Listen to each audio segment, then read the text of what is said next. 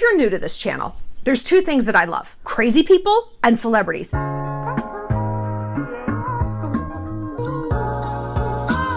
Hey, what's up you guys? It's me, Luke, and welcome back to another video, or if you're new here, welcome to my channel. If you're new here, I post commentary and critique and reaction videos on basically anything on the internet that interests me, so if any of that interests you, then be sure to go ahead and subscribe and turn on the post notifications bell so that you never miss another upload from me. Alrighty guys, today's video is quite different from the videos I've been doing recently because there's a lot to this video, and before we get into it, let me just say that if you are a fan of the YouTuber that I'm going to be speaking about today, I would just like for you to hear what I have to say before you leave your opinion down below. This video is not hateful or malicious. This video is a critique, okay, of this YouTuber. And I have thought long and hard about whether or not I want to make this video because I have a lot of conflicting emotions about this YouTuber. This video is inspired by D'Angelo Wallace's video. He's another commentary YouTuber. I love his content. He is amazing. I almost considered not doing this because I was like, like, what's the point if he's already done such a great job? But we'll get into why I'm doing it in a little bit. But if you would like to check out his video, I will link it down below. But now onto the reason as to why I'm making this video because it is quite relevant. So I used to be a fan of Shallon Lester. I found her channel last year. I don't remember when, but she came up in my recommendations and I love YouTube channels where YouTubers literally just talk for ages. Her content is very niche. There's not really anybody else who does what she does. She makes videos about celebrity gossip, news, and drama and relates it back to the viewers by giving relationship advice and advice on just your family, friends, and mental health and all that other type of stuff. She's a very charismatic and entertaining person. This woman knows how to keep an audience engaged. This woman is smart. She's good at what she does. But as I was watching her, I started to notice how her content just started to get really unnecessarily negative. I love a good roast. My favorite YouTubers are like Cody Ko and other YouTubers that roast people or critique people. I enjoy that type of content, but all of the YouTubers that I watch, and I would like to think myself as well, it never comes from a malicious point of view. But Shallon started getting really, really malicious. Her content started to get really, really negative, and it really just made me feel uncomfortable. I actually vividly remember the last two videos I've watched of hers that got me to stop watching her last year. The first one was a video she made about Taylor Swift's documentary. Now, if you've watched the Taylor Swift documentary, you will know that it is a very emotional documentary, and Shallon just completely shat all over that documentary. And she's done this countless times with Taylor Swift in the past, but for some reason, that was kind of a turning point for me. And then another turning point was just realizing the lies that she creates. She has built her channel and creates her content on speculation and on lies. She says she has all these sources, although she's never really showing any receipts. What happened to receipts? Remember when that was a thing? Nope, she doesn't show any proof. All she says, and she'll say this in every single video, I used to be the uh, editor of Star Magazine. a few problems with that. First of all, used to be, meaning you are not anymore, meaning you do no longer have access to those sources. And even if you do still have sources and you know people in the industry, how is it that she has sources about all of these celebrities that she talks about? Seems a little bit fishy to me, especially considering that there is constantly new news and new drama every single week. It's just interesting that she, for some reason, Shallon Lester is able to know everything that's going on in these people's lives, even though she doesn't know any of them personally. Another thing is these celebrity gossip magazines, since when were they credible? Somebody want to tell me that? Since when? Oh, another thing to mention, Shallon actually used to be a guest person on the Wendy Williams show. And here with the dish is senior editor from Star Magazine. Give it up for Shady, Shallon Lester. Yes. So if that doesn't tell you anything, I don't know what does because Wendy Williams is straight up cold. She is mean. She is a bully. So Shallon being on that show makes just about perfect sense. Another place that you may have known her from is the how to cost videos. There is an entire playlist of her teaching you how to kiss, which is not bad, I guess. It's just cringy. Oh, well, that's the way you feel. Mmm. Mmm. Oh, yeah. What?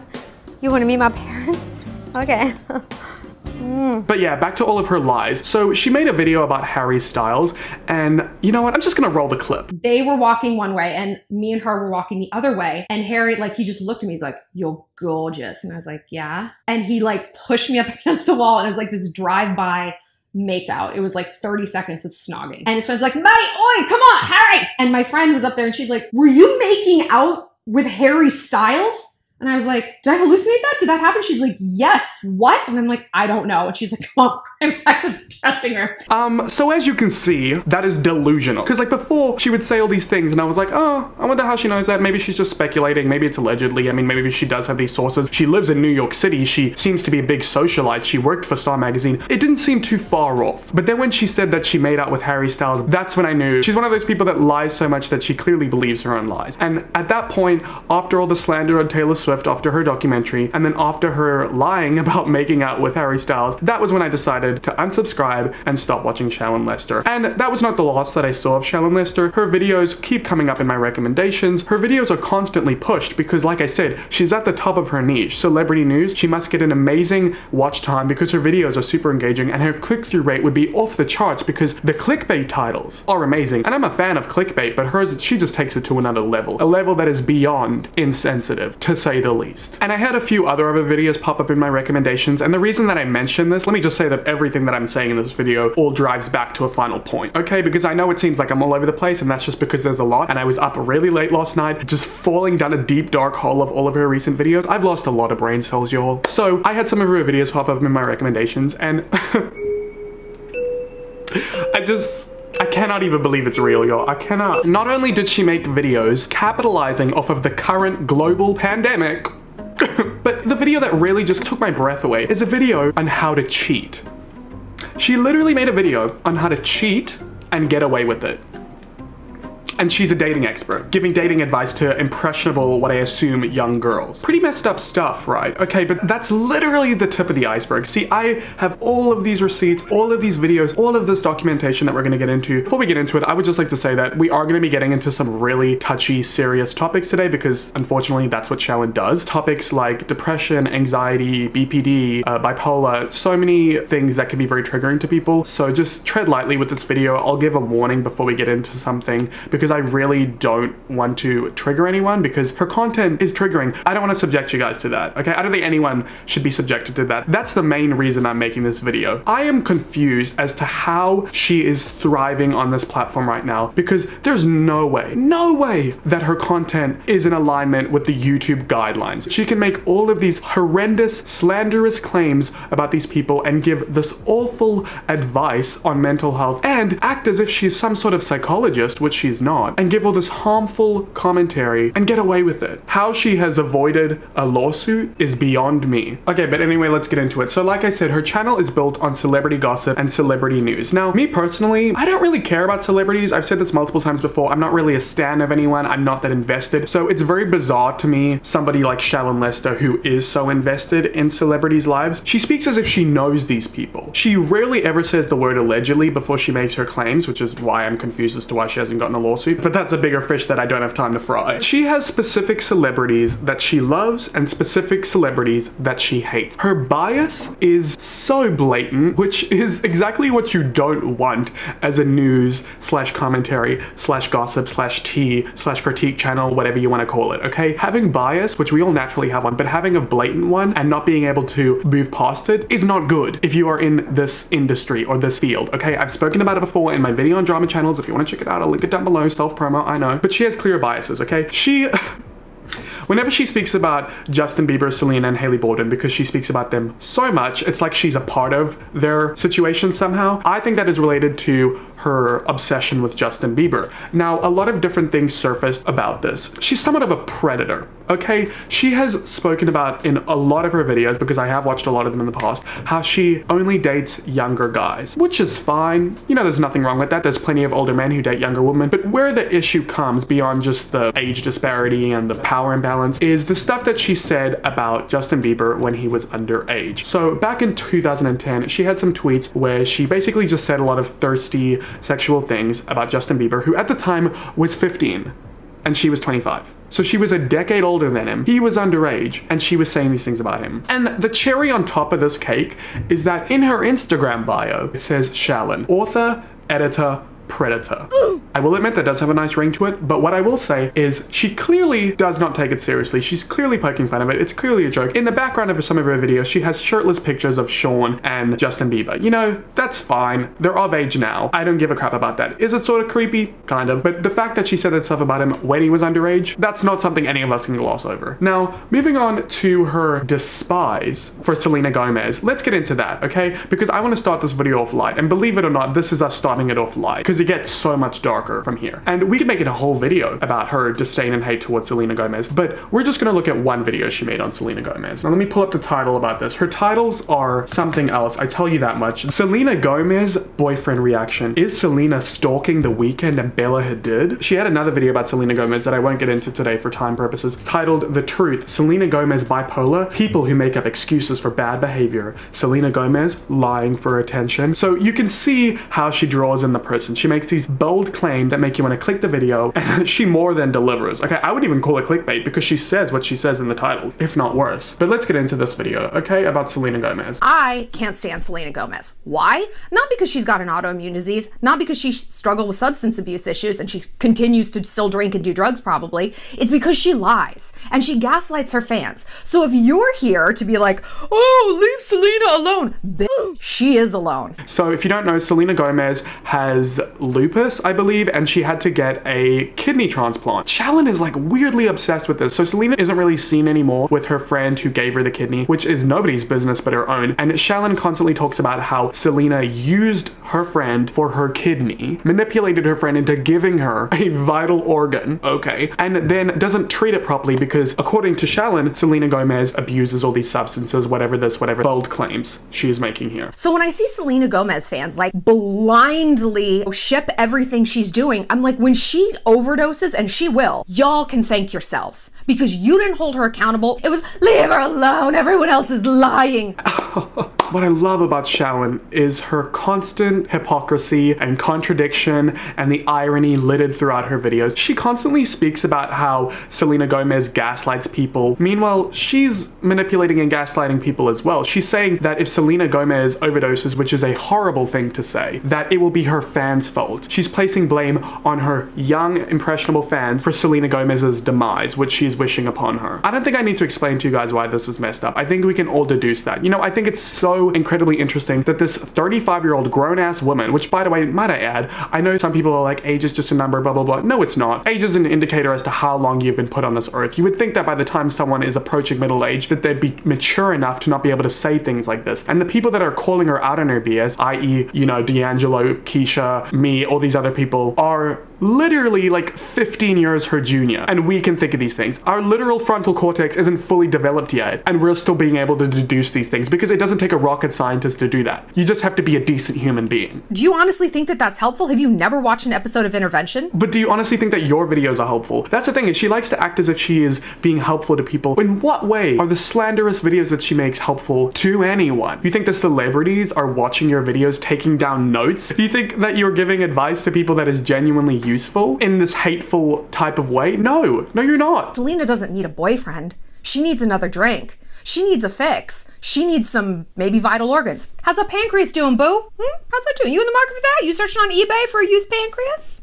You might want to get a jump on it. I'm not hating on someone because they have an organ transplant. That's horrible. I'm hating on her because she conned her friend out of an organ stopped speaking to her, referred to as that girl who gave me a kidney, and continues to drink. It's her kidney that she has given to you so that you may live, and that's how you repay her.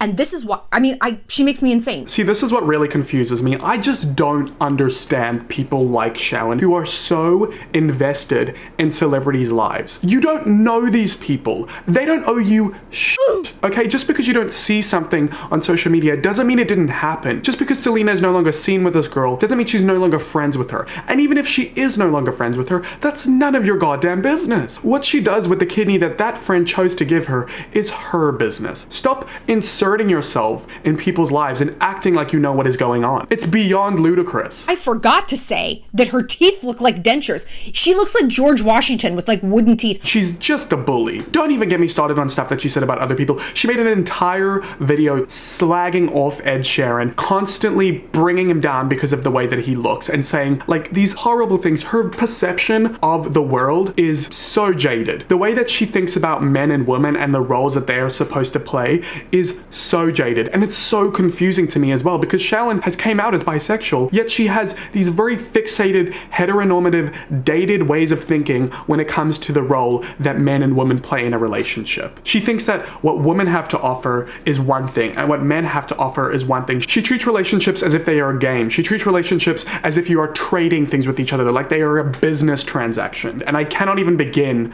to describe it to you guys because we would be here for so long, okay? But enough of that. Let's move on to some other things because we could talk about the Selena drama all day, but I really just, I don't understand her vendetta against Selena. I mean, I guess I do because she's so beyond obsessed with Justin Bieber and for some reason thinks that she is Hailey Baldwin's doppelganger that she feels the need to hate on this poor girl, who is, might I add, almost a decade younger than her. Bizarre. Let's move on to Meghan Markle, another woman that Shallon hates and constantly drags through the mud. I have a very low opinion of Meghan Markle. She is a woman who took a man away from his family through her own manipulation and machinations. We have also talked about how she seduced him. She honed in on Harry's shadow self. She was in his ear, Markle sparkling him and being like, you're the true king. You don't need any of them. You're no one's puppet. You're a man all on your own. Look at everything you've accomplished. Look at everything you have to give to the world. Step away from them and towards me, the only person who sees that in you. This is all part of the Markle plan to dip out of Hollywood,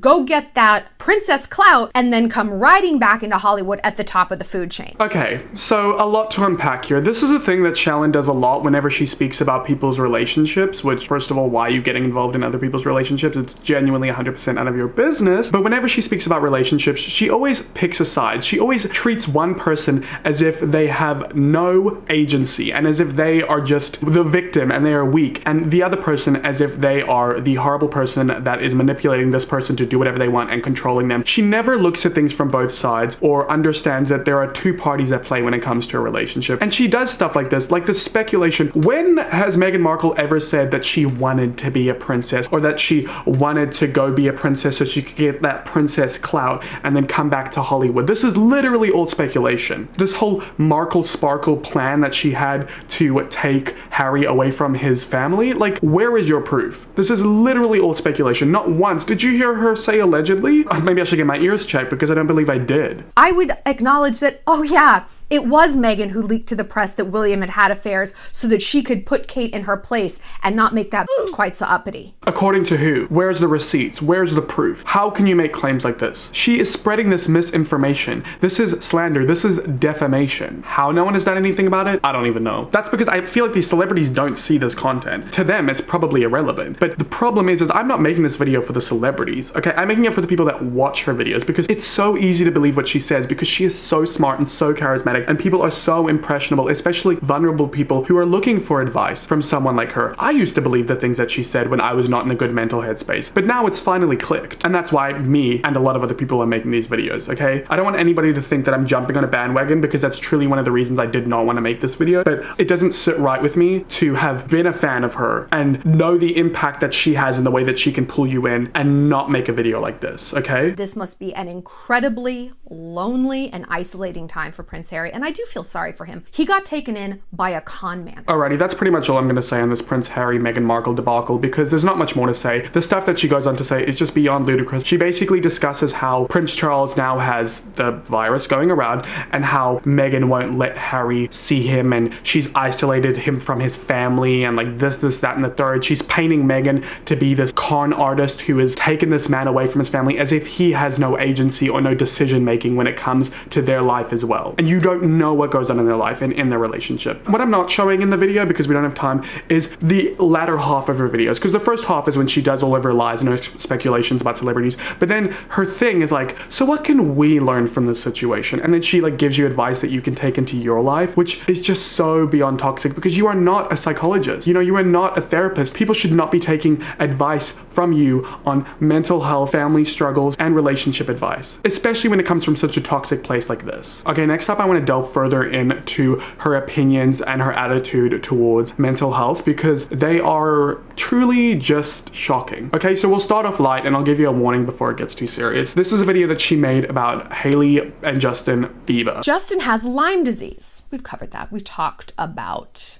that. So, whatever it is he's got, he's got something. Anyway. Yeah, so this is another thing she does. She likes to act as if celebrities, when they open up about their struggles, whether it be physical struggles or mental struggles, she likes to insinuate that they are lying, which is so beyond toxic. I am proud of them as a couple for being like, now is not the time to have a child. So yeah, this video is about why they haven't had a baby yet, which is so incredibly personal. I don't know why you would think it's your place to make a video on this. Maybe your partner doesn't have Lyme disease a la Justin Bieber, but maybe he's depressed. Oh, I'm so depressed. I, he suffers from anxiety. Oh, that's interesting. A white man on planet Earth suffers from anxiety and depression. Yeah, so her opinion of men who struggle with mental health is obviously not great. If you've watched any of her videos, you would know that. This is a very light example as to how she treats the matter, but she constantly diminishes their mental health struggles. And mental health, we all know, does not discriminate. Anybody can have mental health struggles, and you don't know what they have because, shocker, you're not their psychologist. Okay, so moving on from Justin Bieber, we are getting into some more serious territory. So just know that this content is quite sensitive. I've actually cut out some stuff because I personally don't even feel comfortable listening to it. If you are sensitive or you get triggered by discussions of self-harm or taking your own life, that we will be discussing that briefly. Next up is this video that she made on Pete Davidson. We're to talk about Ariana Grande today, and not just Ariana, her garbage fire of an ex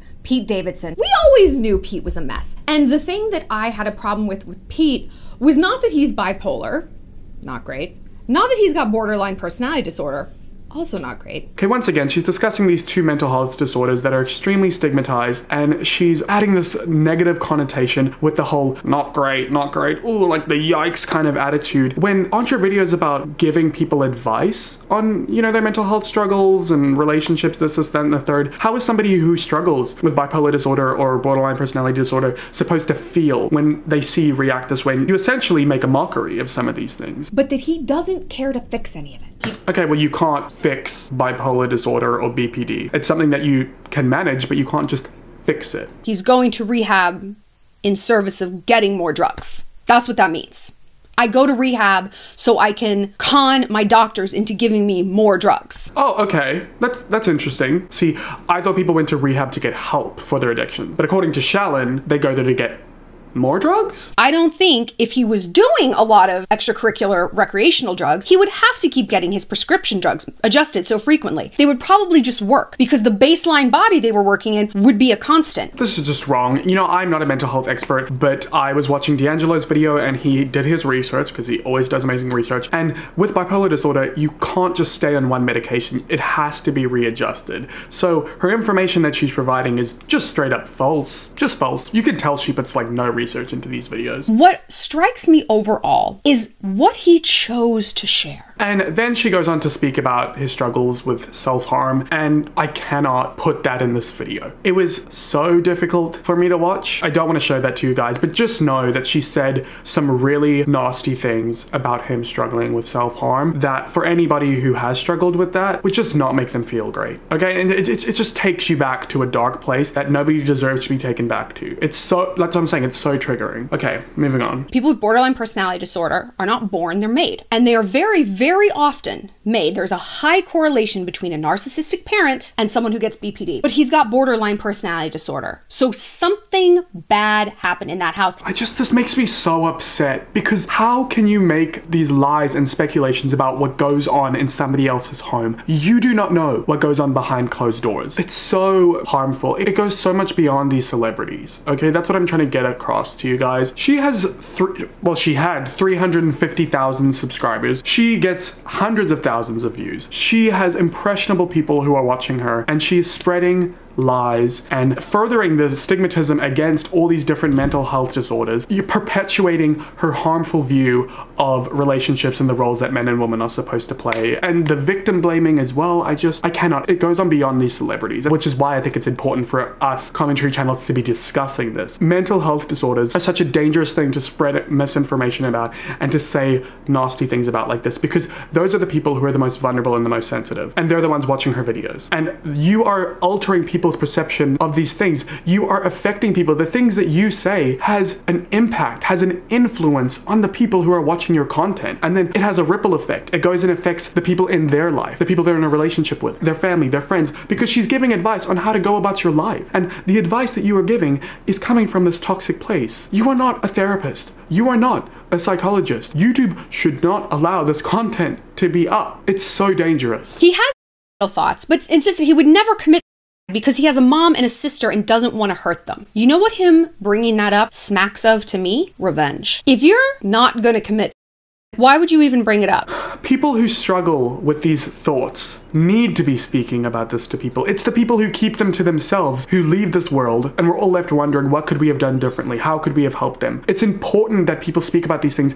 That is why everybody, as time goes on, is fighting for mental health disorders to not be so stigmatized so that we can open up the discussion, so that we can save lives. Do you see what I'm trying to say about how jaded and backwards her thinking is? That whole mentality of like, if you're not going to do it, why even bring it up? Maybe so that they can get help so that they don't do it in the future. And this whole revenge look, I understand one point that she made about people who get in fights with their significant other and they're like, oh, if you leave me, I'm gonna take my own life and stuff. That's messed up for sure. But that's not what he was saying he was doing. He just said that what stopped him from doing that is that he loves his sister and his mom, so he would never want to leave them behind. That's one of the main reasons people don't do it. That's a valid reason. Okay, we're gonna go ahead and look at one final video. This is the video that she did on Ellen DeGeneres. Now, there's been a lot of stuff coming out on Ellen. I, from what I can deduce, I don't know her, but I don't think Ellen is a great person. There's been a lot of people who have interned there, worked for her, had experiences with her, who have opened up in a thread on Twitter about all of the not so nice things that she has done and said in the way that she behaves. Whatever. This is beyond whether or not Ellen is a nice person. Okay, let's get into this. Ellen is actually a monster. Now, I've talked about how to spot a psychopath before because I am fascinated by psychopaths and I read multiple books on psychopathy. So let's go over the Hare psychopathy checklist. So maybe she's not Ted Bundy level 39, but do you want to deal with someone who's even level 25? I don't know enough about Ellen and her history because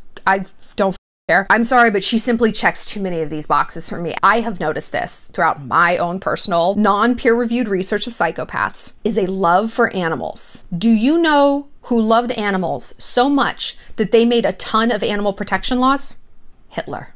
Isn't that crazy? Yeah, that's insane. I cannot even believe that this is real. Just because you do research on psychopaths and you read books about it and you're fascinated about it doesn't mean that you get to diagnose people with that. Even if you were a psychologist, you still wouldn't be able to diagnose people without actually having a formal diagnosis with that person. Yet that's exactly what she's doing. And this whole ticking off the boxes, checking off the boxes, determining whether or not somebody is a psychopath isn't just a little fun quiz that you can do off of Google. And comparing Ellen to Ted Bundy and Hitler Hitler is insane. That's all I'm to talk about today. I'm sure there is so much more that I could discuss, so much more that is to come out about this woman. She already has limited the comments on her Instagram and made her Twitter private, so she knows that she's in hot water. I don't know if she's to speak about it. She's already losing subscribers. I don't know what is to happen from this. The reason that I'm making this video is just because I know that there might be somebody out there like me who used to watch her videos who is maybe more impressionable or more vulnerable and really gets drawn in by her charm charm and her charisma and her entertaining videos and the way that she speaks. She's an entertaining person. She can be funny. I'll give her that. But that only lasts so long. It's like she puts this cloud over you